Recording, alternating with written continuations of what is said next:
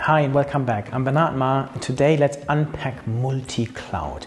Imagine you use different online services like Google Drive, Dropbox and iCloud for storage. Each is great for certain tasks. Now scale this up to a business level where companies use multiple cloud services for different needs. That is basically multi-cloud. It's not just about storing files. Think broader. A retail company might use AWS for its website hosting, Azure for AI analytics and Google Cloud for customer relationship management. Or a media company using one cloud for streaming its content and another for analyzing viewer data.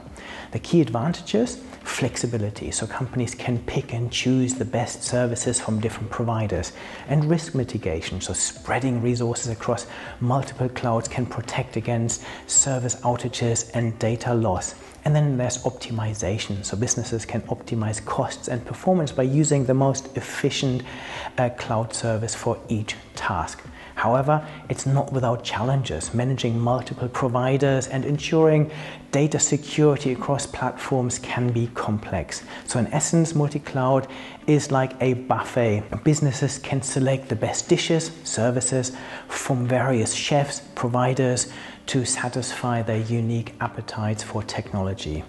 For more insights into how technology is reshaping our world, don't forget to like, subscribe and follow me on social media. I see you next time.